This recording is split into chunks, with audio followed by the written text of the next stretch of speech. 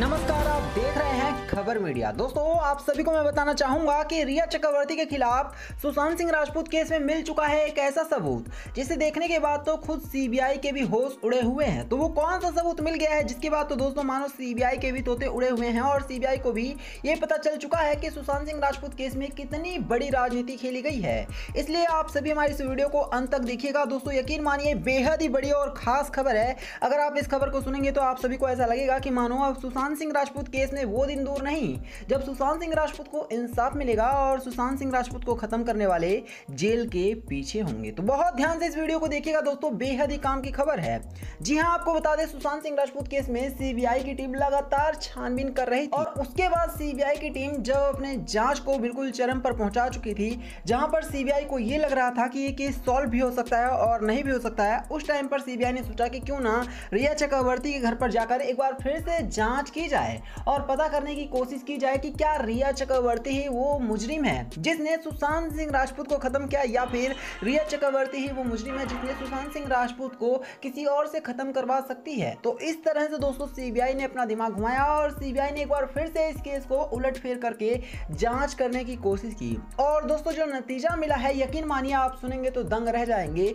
जी हाँ आपको बता दें सीबीआई की टीम ने जब इस जाँच को दोस्तों चरम पर पहुँचा दिया और वहाँ से सीबीआई ने एक बार फिर से इसको जाँच करना शुरू किया तो वहाँ पर सीबीआई को पता चला कि रिया चक्रवर्ती के खिलाफ आज भी कुछ ऐसे सबूत मौजूद हैं जिससे सीधे सीधे रिया चक्रवर्ती जेल जा सकती है। जी हाँ पहले तो कुछ ड्रग्स से रिलेटेड सबूत मिले हैं, जिसे देखने के बाद सीबीआई चौंक गई और ऐसा लग रहा है कि रिया चक्रवर्ती ने ना सिर्फ़ खुद ड्रग्स लिया था, बल्कि सुशांत सिंह राजपूत को भी बड़ी मात्रा में ड्रग्स लिया था और तो और रिया चक्रवर्ती की कई बड़े ड्रग्स पैडलर से भी सीधे संबंध निकल करके आ रहे हैं। इसका मतलब यह है दोस्तों कि रिया चक्रवर्ती ने कुछ ड्रग्स पैडलर को यह तक कहा होगा कि सुशांत सिंह राजपूत को वो सीधे जा करके ड्रग्स की डिलीवरी करे और ये भी ना बताए कि किसी चीज़ में मिला करके ड्रग्स दे और बताए ना कि उसमें ड्रग्स है।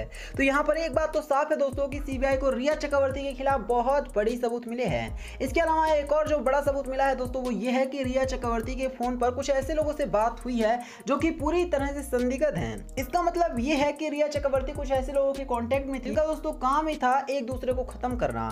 यानी कि सुशांत सिंह राजपूत को खत्म करने के लिए क्या रिया चक्रवर्ती इनसे बात कर रही थी? इसका बहुत बड़ा खुलासा आने वाले दिनों में होने वाला है, क्योंकि सीबीआई ने इन लोगों के नंबर तो ले ही लिए हैं, साथ ही साथ नंबर को ट्रैक भी करना चालू कर दिया है। और तो और इन नंबरों को दोस्तों फॉरेंसिक लैब में भी जाँच के लिए भेजा है कि अभी ये नंबर कहाँ पर है और किस तरह से इन नंबरों का उपयोग किया गया है। रिया चक्रवर्ती से इस नंबर पर क्या क्या बातें हुई हैं, ये सारा बड़ा खुलासा होने वाला है दोस्तों।